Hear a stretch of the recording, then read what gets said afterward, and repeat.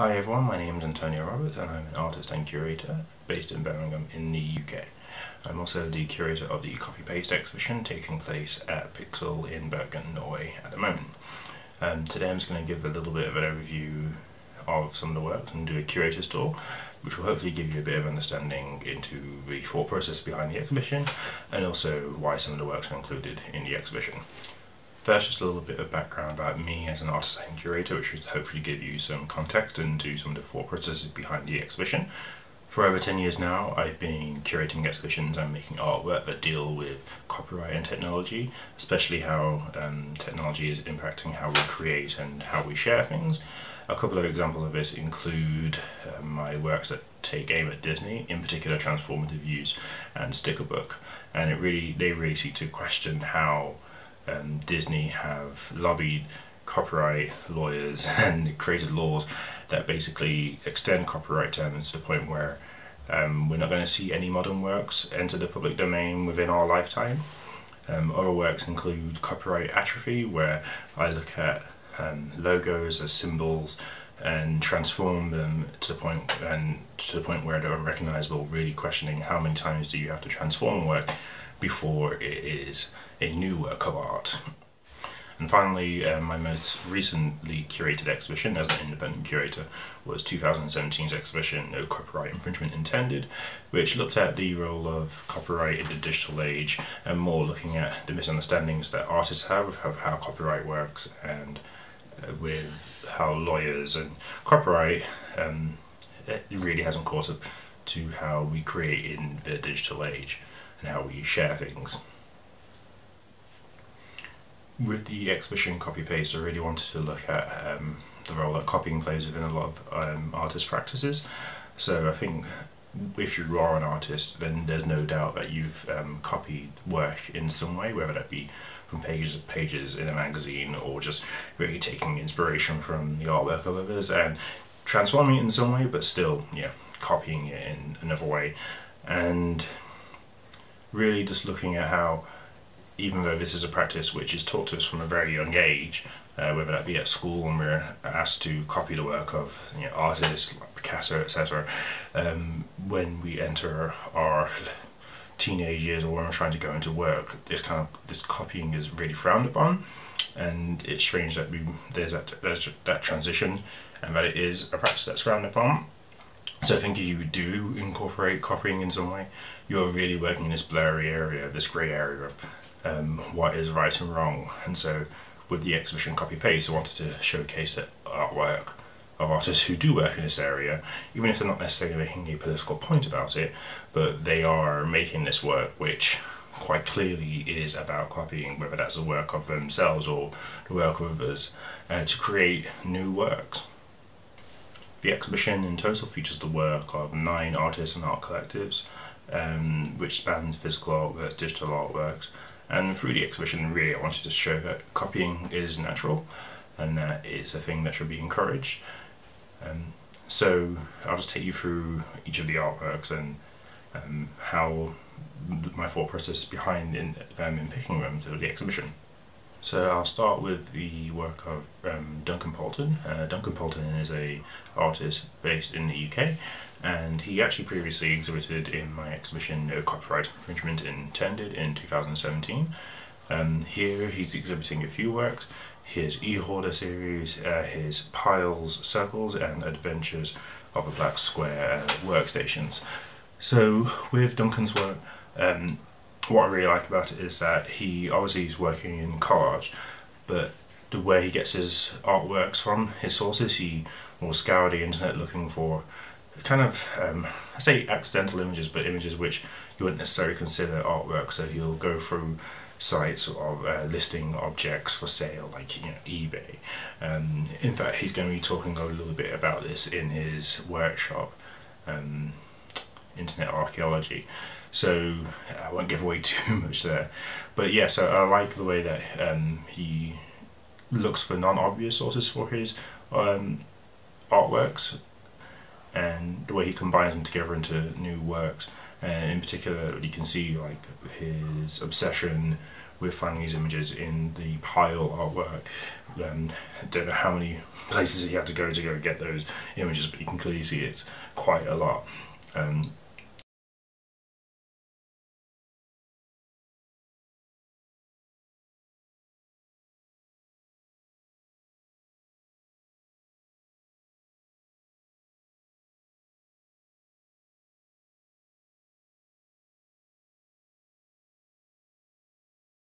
so really, I think his work uh, encapsulates this kind of working with collage and scouring the internet for uh, images, just like the abundance of images that there are, and his ability to sort through them. Next, I want to talk about a complementary artwork um, by Lorna Mills. So Lorna Mills is an artist based in Canada, and in a way, yeah, I put I like the I like her artwork together with Duncan Poulton's artwork. So Lorna Mills is working with collage also, um, particularly with animated GIFs. So with her animated GIFs, she will go through sites like you know, 4chan, Russian websites, just really obscure places to find uh, sources of imagery, creating sometimes quite obscene images, which um, are quite playful and also, yeah, obviously obscene. Um, and to make these really just I'm going to say clusterfuck of um, images. She often works with like um, very large um, canvases of found animated GIFs.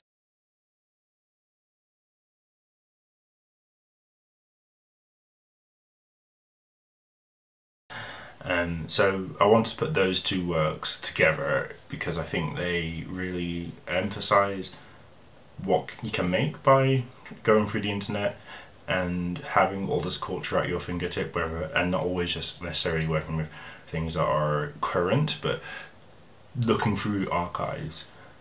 So yeah and that's Lorna Mills's artwork. Um, next I want to talk about Peter Sunde's artwork.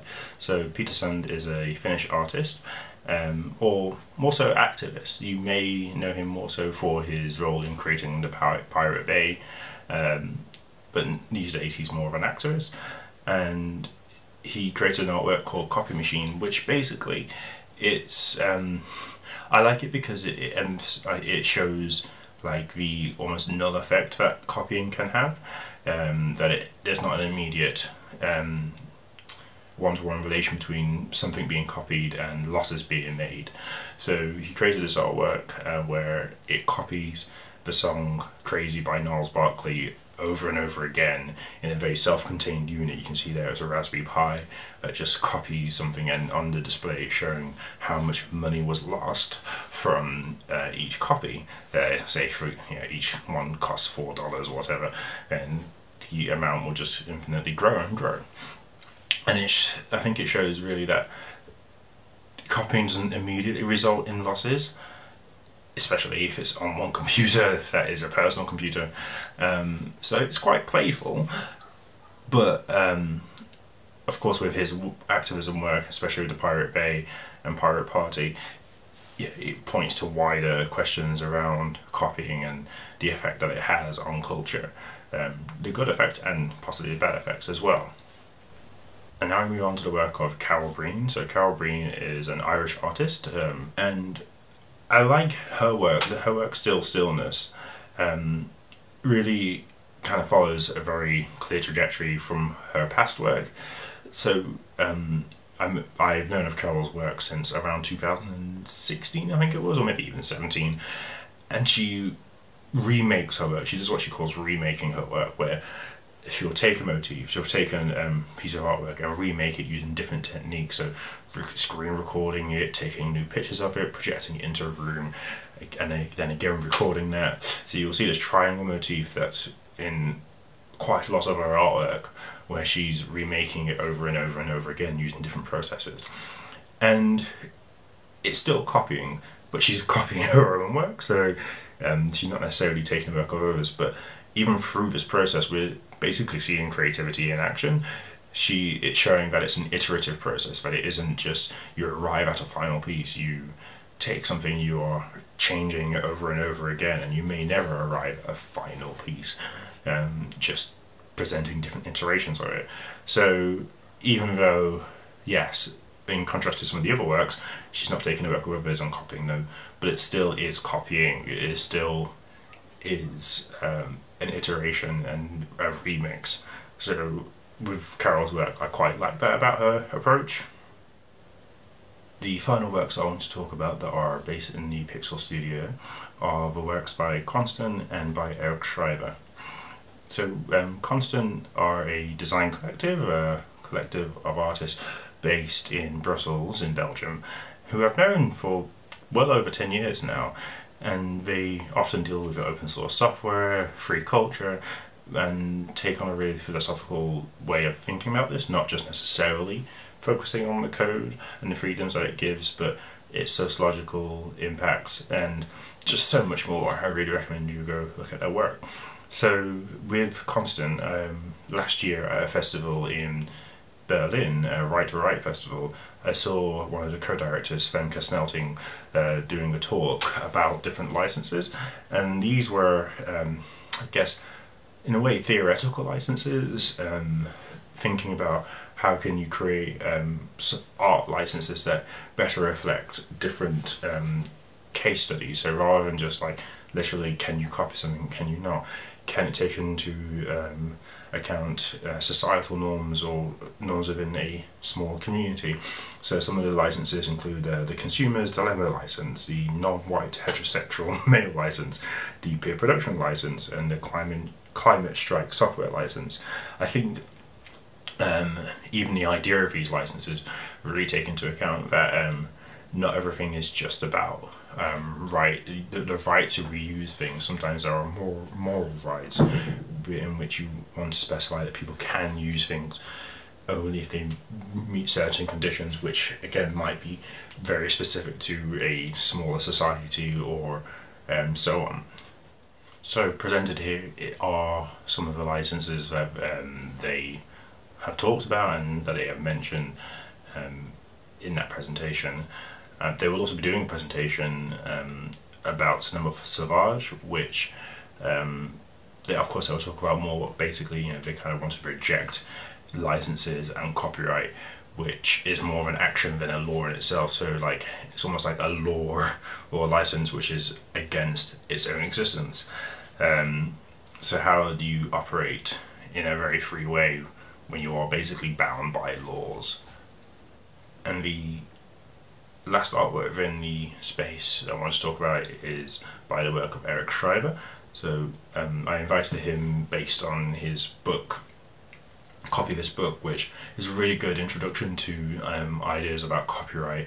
Uh, it's short, it focuses on more European copyright law, but it doesn't just necessarily get into the very specific details because I know um, I'm sure he realizes that not everyone is a copyright lawyer, but it talks about like the societal impacts of copying of plagiarism and or like what might happen when you do allow your works to be copied or want to copy someone else's work.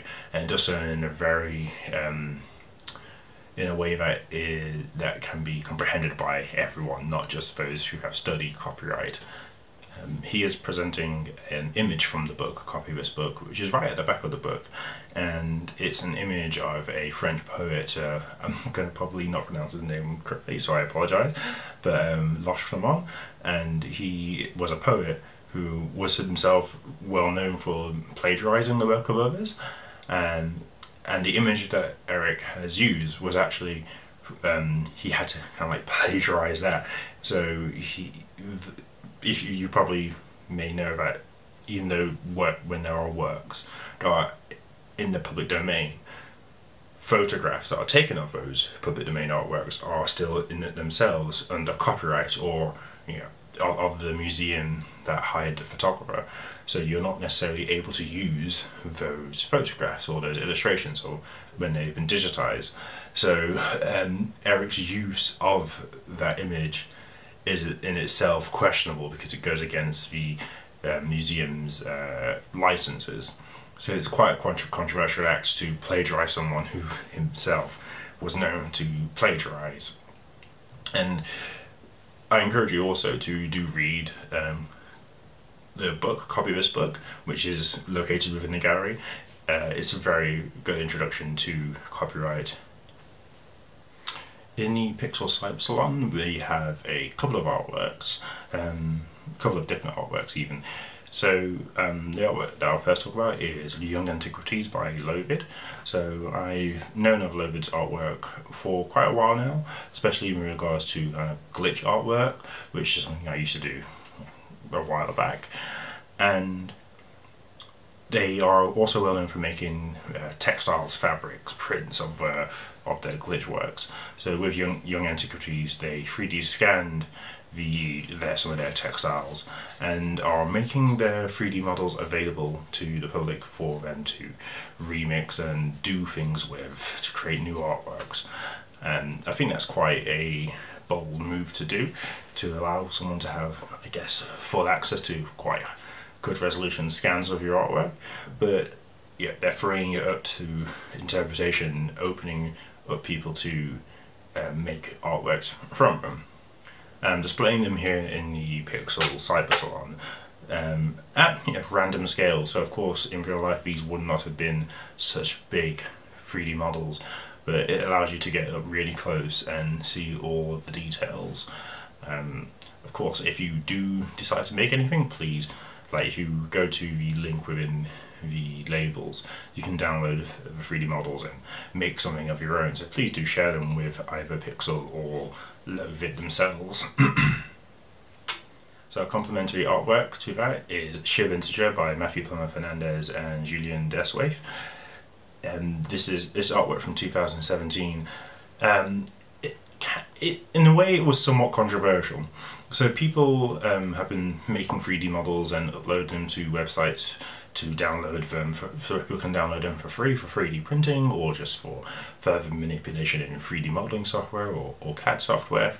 So, and people upload these um, models with a Creative Commons license, which basically permits people to do what they want with them. So they make it, use it for commercial use, for personal use, whatever the license um, dictates.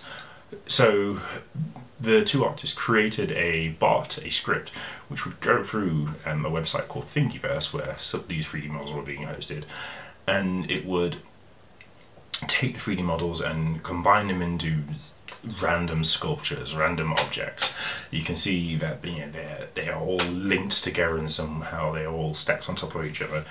Um, and then it would put the 3D models back up onto Thingiverse uh, incorporating the original titles of the um, models which they took uh, to to you know, reuse.